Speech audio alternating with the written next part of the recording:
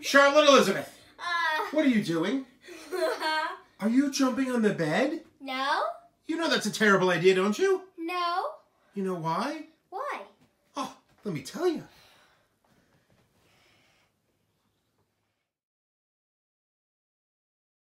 No jumping on the bed. In his bedroom near the top floor of a tall apartment building, Walter was getting ready for bed. Before turning out the light, his father said, If I've told you once, I've told you a million times. No jumping on the bed. One day it'll crash right through the floor. Now lie down and go to sleep. Just one more time? asked Walter. But instead, he plopped down on his pillow and squeezed his eyes closed. Good night, said his father. He turned off the light and pulled the door almost closed. The room was dark and quiet, except for a soft thump, thump, thump coming from the room above. That's Delbert upstairs, thought Walter. He switched on his bedside lamp. If Delbert can jump on his bed, so can I. Walter bounced higher and higher. On his last jump, his hair brushed the ceiling. But when he came back down, his mattress creaked, the floor cracked, and the whole bed tipped sideways. Then down through the floor fell Walter, bed and all. Now, it happened that Walter's bedroom was directly above Miss Hattie's dining room. She was more than a little surprised when a bed fell through her ceiling and Walter landed in her plate of spaghetti and meatballs.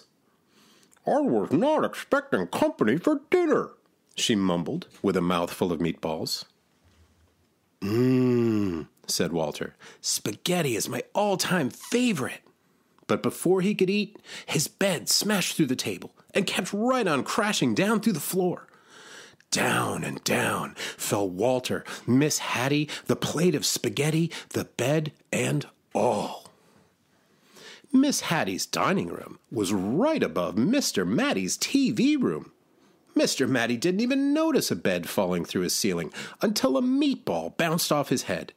Miss Hattie tumbled into his lap, and Walter splashed into his aquarium. I've already had my bath tonight, said Walter. He wanted to stay and watch the monsters on TV, but his bed crunched through the floor, taking the TV with it. Down and down fell Walter, Miss Hattie, Mr. Matty, the TV, the spaghetti, the bed, and all. Walter's Aunt Batty had just moved into the building. She was still unpacking when Miss Hattie, Mr. Matty, and a dripping wet Walter tumbled through the ceiling right into a box containing her rare Patagonian stamp collection. When he burst through the bottom of the box, Walter was a sticky mess. I see you've started collecting stamps, said Aunt Batty as she followed Walter through the new hole in her floor. Down and down fell Walter, Miss Hattie, Mr. Matty, Aunt Batty, the stamp collection, the TV, the spaghetti, the bed, and all. Patty and Natty had worked three days building their dream house with blocks. Afraid that Fatty Cat might knock something over, they carefully shooed her out for the night. Then the upstairs neighbors came through the ceiling. Excuse us, said Walter, remembering his manners. We won't be staying long. The words were barely past his lips when Walter's bed bashed through the floor and continued on its way. Down and down fell Walter, Miss Hattie, Mr. Matty, Aunt Batty, Patty, Natty, Fatty, Cat, the stamps, the TV, the spaghetti, the bed, and all. The last thing Mr. Henratty ever expected to see was a bed coming through his studio ceiling, followed by nearly everyone in the building.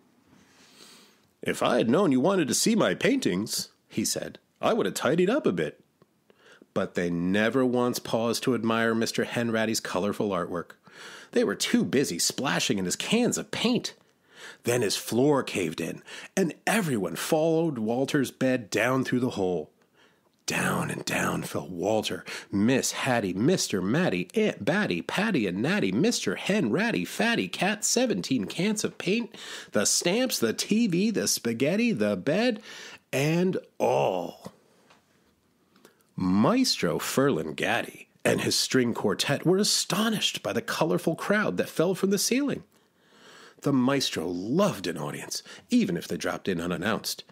But when Walter's bed smashed through the floor and paint splattered everywhere, the maestro wished his audience would leave.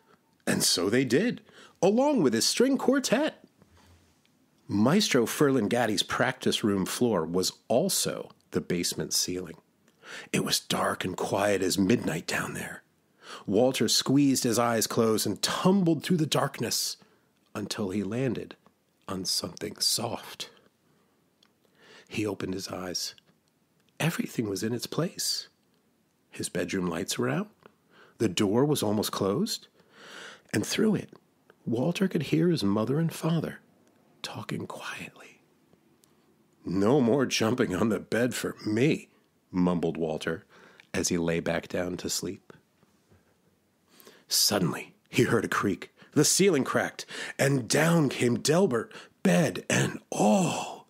Down and down fell Delbert. All right. Now do you get it? Uh huh. Dad? Yeah? Can we move the bed to the basement?